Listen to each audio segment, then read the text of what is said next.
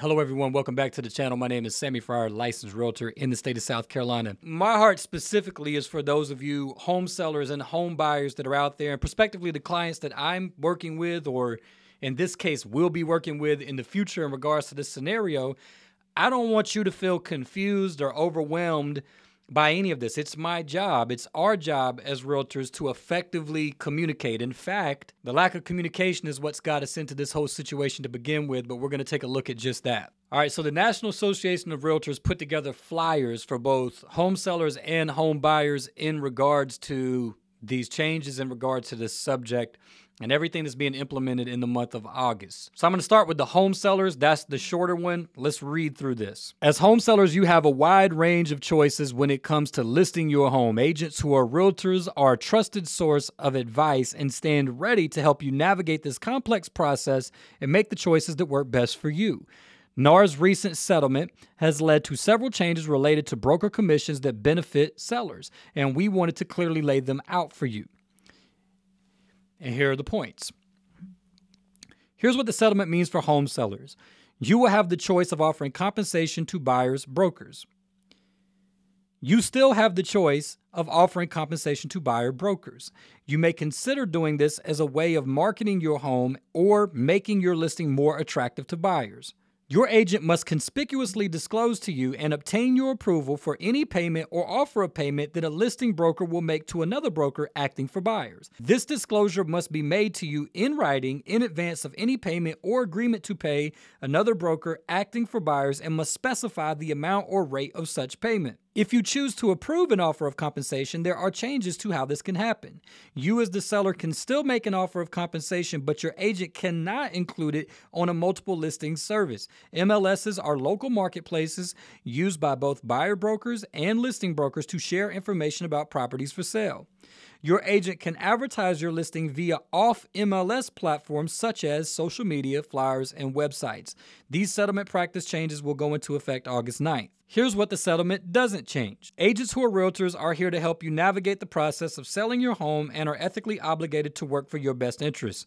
Compensation for your agent remains fully negotiable, and if your agent is a realtor, they must abide by the Realtor Code of Ethics and have a clear and transparent discussions with you about compensation. When finding an agent to work with, ask questions about compensation and discuss what you would like to offer buyers. You have choices. Work with your agent to understand the full range of these choices when selling your home, which will help you make the best possible decision for your needs. Now, we're going to go to the buyers, but let's recap this real quick.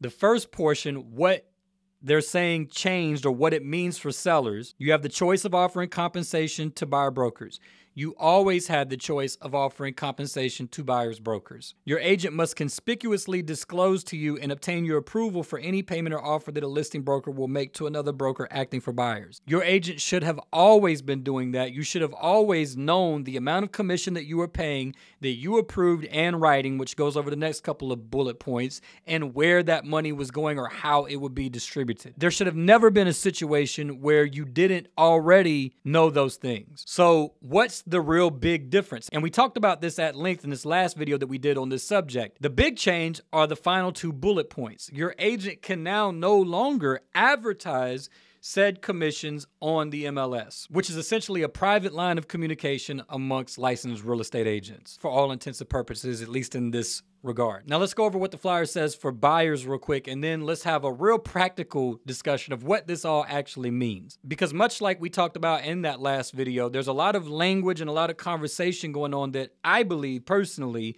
just lends itself to more confusion for the consumers and even for real estate agents for that matter, especially if they're newer or are older and are not uh, cannot adapt well to transition, it's very easy. And in this very video, we're going to explain to you exactly what the big takeaway needs to be for all parties at every table across the entire country when it comes to this subject. So, home buyers. Buying a home is one of the largest financial transactions most people will ever undertake. Agents who are realtors are a trusted source of advice and stand ready to help you navigate the home buying journey and make the choices that are best for you.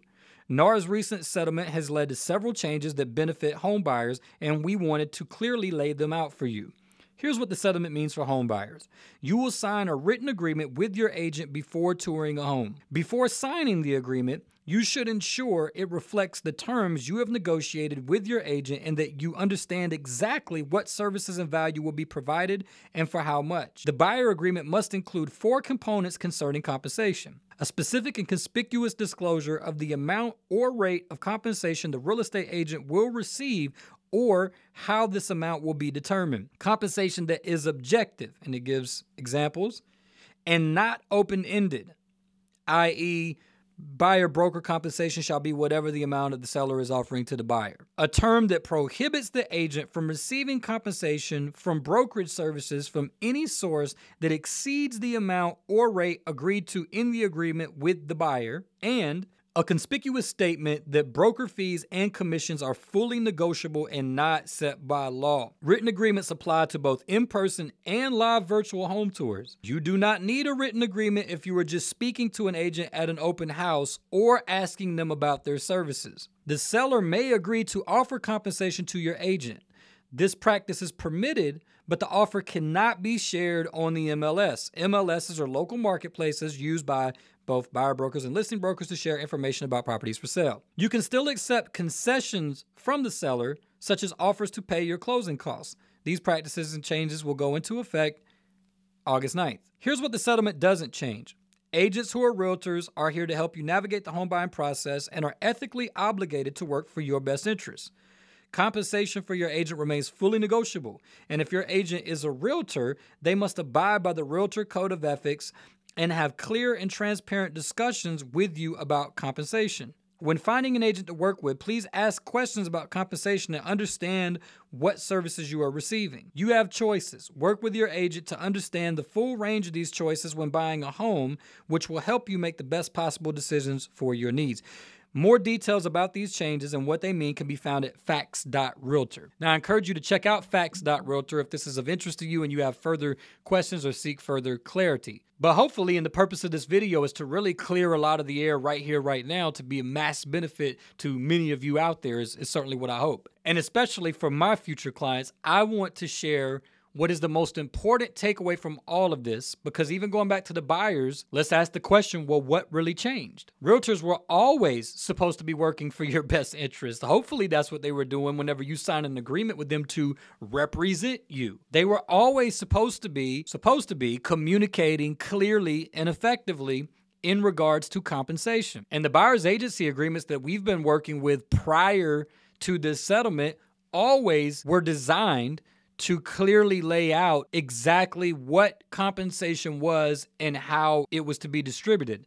Now they have updated our contracts in compliance and in a in a greater effort to be compliant with these changes. Our local listing agreements and buyer's agency agreements have both been updated to add extra layers of clear, transparent communication, specifically in regards to compensation slash commissions. But I can say, in my opinion, they were really well drawn out before the changes. So now they're just even more so. So then, what are the changes for buyers? One is the same as sellers. Communication of compensation cannot be done through the MLS. But the second one, specifically for buyers, is that a buyer's agency agreement must be signed prior to touring a home. It does not need to be signed to speak with an agent at an open house or just to ask them about their services. And we talked a good bit at length about some of the ways to view the necessity to sign an agreement in that last video. I encourage you just to refer back to that if any of this is of interest to you. Here's what the real takeaway from all of this is, and here's what I hope that real estate agents out there that see this video take away from this and prospective sellers and or buyers out there in the United States of America. All of this came about from a failure to effectively communicate. And the goal of these changes that have been implemented. Now, it may be debatable if removing information from the MLS really actually is effective towards achieving that goal, but I'm not here to debate that. The changes are made, and as professionals, we are going to adapt and change along with what has been mandated from the powers that be. And they felt all of these changes being implemented were in the best interest of the consumers and of the industry to facilitate efficient and effective transparent, clear communication. This came about because a lot of the communication that's being emphasized in the flyers that we just read was not taking place. So here's what you need to take away from this moving forward, whether you're an agent or a consumer. Understand that the conversation of compensation is very important. All of your contracts all over the United States should have a section in them that is specifically dedicated to the compensation portion of the agreement of the potential transaction. Make sure that you camp on it and that there's a discussion at the table, whether you're a seller, a buyer, and certainly if you're the agent. Don't rush through these things. We're moving into a large purchase or transaction, speaking to the sellers and buyers out there, and there's no need to rush. This process is going to take at least a month, usually from A to Z. Sometimes it's going to be longer than that, of course, and in some cases, maybe shorter.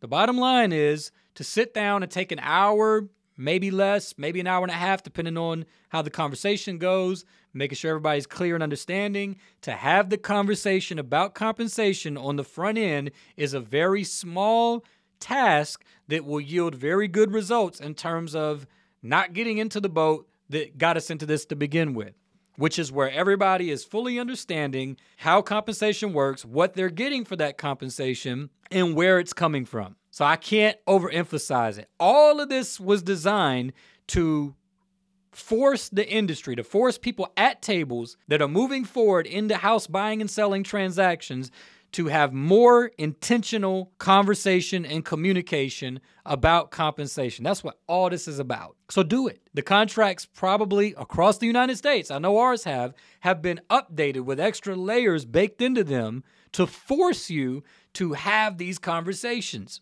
And that's really what this is all about. Sellers or buyers, here's what I would say to you. This is my advice to many of you that I may never encounter because you're in other parts of the country. Your real estate agent should be able to tell you what their job is, how they perform it, what is the value proposition that they bring to you, what the charge is for those services, and how that money gets paid and distributed in a real estate transaction. They should be able to answer all of those questions. If they cannot effectively do that, if they don't have answers to those things, if they can't explain those things to you, I humbly suggest you should go find somebody else to work with. That's just the simplest way to say it. They should be able to answer those things. But here's the second thing I want to say also to sellers and buyers. This is the part that falls on you to an extent. You need to ask those questions. There's probably millions of real estate agents in the United States. And to think that every last one of them out there are going to sit down and be able to and will efficiently and effectively be intentional about communicating all these elements of their job, the transaction process, commissions paid to you is not something that I would recommend. You now have to have a buyer's agency agreement signed to tour a house with an agent. And across the United States, I think most agents are going to require that because they're not going to risk fines, and fines from local associations can be very heavy. They're not going to risk that for one potential transaction that may not even come to fruition with you. So they're going to require it. So when you sit down to go over agency disclosures and certainly contracts, whether listing agreements or buyer's agency agreements, make sure that you are actually being walked through that agreement and that you know what you're signing. I know a lot of times people are just in a hurry. They're like, I know this stuff, or I'm not worried about it. Just sign it. Let's do it. My suggestion is in this case, be prepared to take maybe an hour of time and just go over everything so that you understand what you're signing so that there's no confusion or surprises on the back end of the process. That's what the National Association of Realtors, that's what the Department of Justice, that's what local realtor associations are trying to accomplish is an environment where there's good, clear, transparent, intentional communication and that everyone, but specifically you sellers and buyers, understand completely what you're signing and why and how it works. Make sure that you know what you're signing. That's the bottom line. And if someone can't walk you through that section of commission, which is what the big part of this is all about, on that agreement, whether it's the listing agreement or the buyer's agency agreement, then you may want to kindly say,